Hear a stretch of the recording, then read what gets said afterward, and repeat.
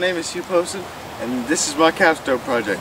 I plan to inform and teach the basic fundamentals of marksmanship to be used as entertainment, hobby, or recreation in the Oakdale community. Like tennis, golf, or any other sport, marksmanship takes place in dedication. Perhaps one day, O'Neill might consider adding it to their sports electives. Marksmanship, by definition, is a skill in shooting. A marksman is a person who is skilled in shooting a mark or a person who shoots well. The marks marksman the first used in the Middle Ages. It was the name given to rural archers or bowmen. Today, marksmanship generally applies to the use of a gun or rifle, but can include someone that has mastered ac accurate shooting with a bow and arrow.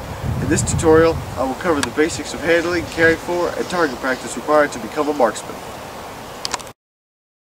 Many people dislike guns because they are afraid of them. Knowledge takes the fear out of most things, and guns are no different. To begin with, one must know how to properly handle and hold a gun. The first thing when holding a gun is to check if it is loaded and the safety is on. Always assume a gun is loaded, even if someone tells you it's not. If you don't know the specific gun and how to check it, do not take it into your possession. Always handle a gun with barrel pointed in the safe direction, either to the ground or to the sky. If it is a rifle, slung over your shoulder. This includes while cleaning the gun and the gun barrel. Always keep your finger off the trigger until you have the gun aimed at your target. Although your trigger seems like a natural place to keep your finger, don't do it! Your finger should be straight, resting against the side of the trigger guard. Remember, anything you point your gun at could possibly be shot, whether you meant to or not. Always be careful where the muzzle is aimed. Always be aware of your target and what is on the other side. If you missed your mark, would it harm anything or anyone? Make sure when shooting at targets, if a bullet ricochets, penetrates further than expected, or strays further than expected, no one or nothing can be harmed. Always store your guns safely. Keep ammo and guns separate. If you have children, keep the guns locked away. Once they are old enough, then teach them gun safety. Always use eye and ear protection while shooting. Never hand a gun to someone that doesn't know or how to follow the rules of gun safety. There are many different types of weapons marksmen like to use for target practice. The three I plan to show are 1911 45 caliber pistol, an AR-15 semi-automatic rifle.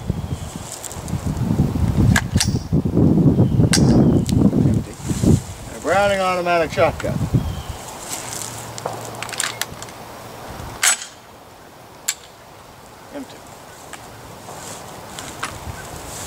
The 1911 45 caliber pistol is best used for short-range target practice. Contrary to popular belief, when using a pistol, the further the target is or if the target is moving, it is harder to come in contact with. An AR-15 type automatic with scope is for precision long-range aim, best used with a stand or solid base. A Browning automatic shotgun is for your basic skeet or clay pigeon shooting. Depending on your targets and how far away they are, this will define the weapon of your choice. In this video, I will be displaying these fundamentals of marksmanship I have described. To begin with, the 1911 45 caliber pistol, best used for short range shooting. When using a pistol, targets are usually large and at close range. The smaller the target and further the distance distinguishes a good marksman from a great marksman. I will be shooting at various sized targets as this is 20 feet to demonstrate the accuracy it takes to hit your mark.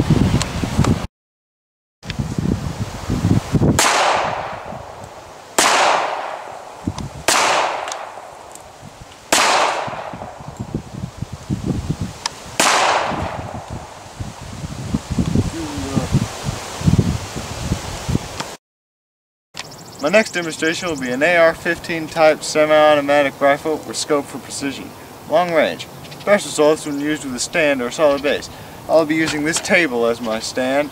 Once again, I'll be shooting at various size targets.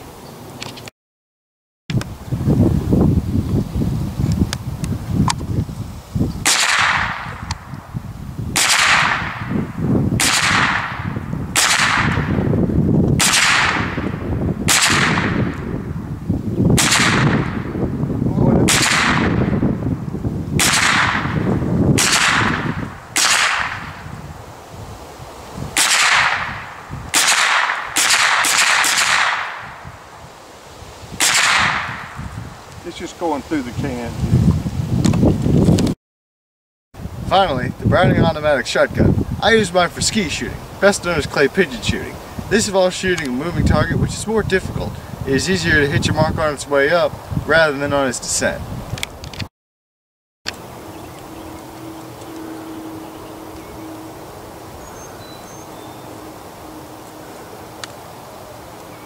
Paul!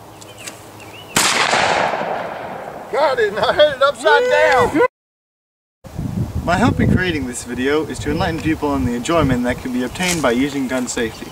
Perfecting your ability at hitting various targets at challenging distances can be as fun as hitting a ball into a hole 500 yards away.